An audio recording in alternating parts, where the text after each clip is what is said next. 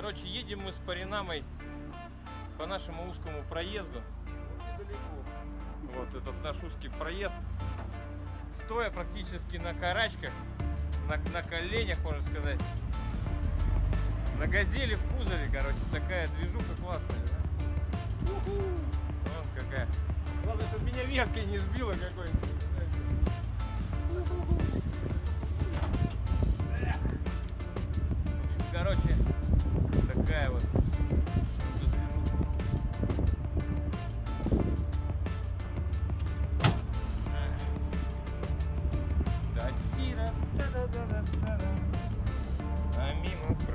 Топтались дерева.